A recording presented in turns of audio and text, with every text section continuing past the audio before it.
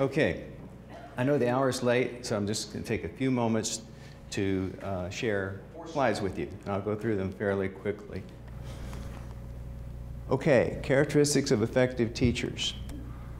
Yeah, there's three characteristics right there. Enthusiasm. Good teachers are enthusiastic. In fact, enthusiasm trumps everything else. You can not do some other things pretty good, or pretty, you can not do some other things well, but if you're enthusiastic as a teacher, it, it compensates for that. So I think that's very important. I think you all would agree with that. Uh, using modeling to teach. So, you know, they say you can't not teach, right? There's such a thing as active modeling and passive modeling. Generally, you're always a model when the student's watching. Is that right? Yeah. And I'll bet you that there's a lot of you who have learned by imitating the teachers that you had, right? Yeah. So that's very, very important. And we'll talk about that in some workshops, the active modeling and the passive modeling. Creating a safe learning environment. There's some research to show that that is the most important thing to students. When, when they're in the learning environment and learning from you, feeling that it's safe.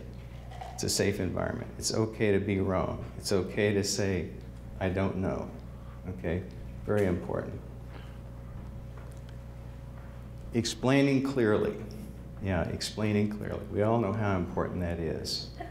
But sometimes you can have so much experience and you've done something so many times that you kind of forget how to go through the detail, details of it in an explanation to the student, right? Yeah. So you kind of have to take your back, take, take yourself back to where they were when you explain things. So we'll talk about that too in some workshops. Using questions to teach clinical reasoning. Yeah, very important. Very important to do that. What do you think is going on with this patient? And why do you think that? And there's a, a teaching model called the five macro skills. And we can practice that model. We can learn that model in some workshops that we will have. Orient the student and set expectations. Dr. Miller talked about that uh, uh, quite a bit in, in his presentation. I think it's very important. And in a sense, when you think about Covey's first three habits, the orientation covers those. And one is be proactive. You're being proactive when you sit down with that student, okay? Beginning with the end in mind and putting and thinking win-win. Three things that are very important as part of that orientation. How many of you, when you started some of your clerkships when you were a student, had an orientation by someone who was going to teach you? You did. One or two folks, yeah. A lot of times you got an orientation from a student who had just finished that rotation and they were telling you who to watch out for. That's the orientation you wanted, right? Yeah. So it's, it, it should be more than that, and you all can do that. Okay, aware of the rotation objectives and the requirements. And I think it's important for the students to know what the objectives are, and it's important for you all to know what those objectives are. And one of the ways that you can do that is you look in the syllabus you look at the students' learning objectives you want them to accomplish, and you say to yourself, how can I help them accomplish these objectives? And you can have some discussion about that in that orientation. So that's very, very important. Okay, providing feedback. Well, feedback is a big deal. And, you know, you've heard of the feedback sandwich. And there's research to show that the feedback sandwich is really not very effective, you know. And a lot of feedback models suffer from ineffectiveness. And one of the models that I've developed is called the ARCH model. And I'm going to leave some cards out here that have the ARCH model on it, and you can take one with you. I think I've got one for everybody. But the ARCH is A, allow for self-assessment. That's really important, isn't it? Because what do you have when a student is not good at self-assessment? How many people have ever taught a student who was not good at self-assessment but was very assertive. Wow. It's a scary moment for you. You call that the student from hell. Yeah. Yeah. So you want to give the opportunity to the student to self-assess a lot, right? That's how you get better. That's how you get better at something.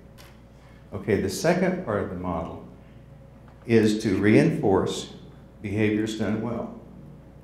Reinforce behaviors done well. Sometimes a student, it's good to ask a, stu a student how they got good at something. And it's not a question we normally ask people.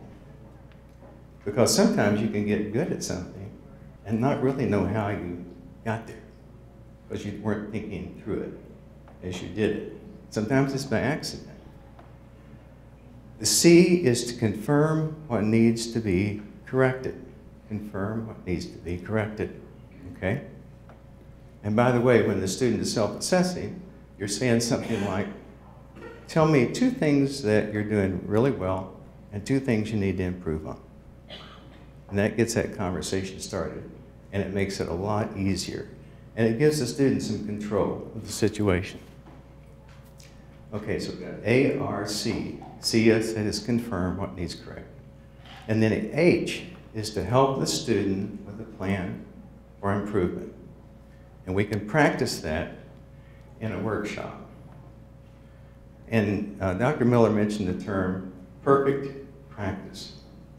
Another way to say that is deliberate practice. People get really good at something through deliberate practice. Okay, so, and by the way, there's a, if you want to read more about that, there's a book called Peak, and it's by Anders Ericsson. Anders Ericsson is the expert on expertise, and he's at Florida State University.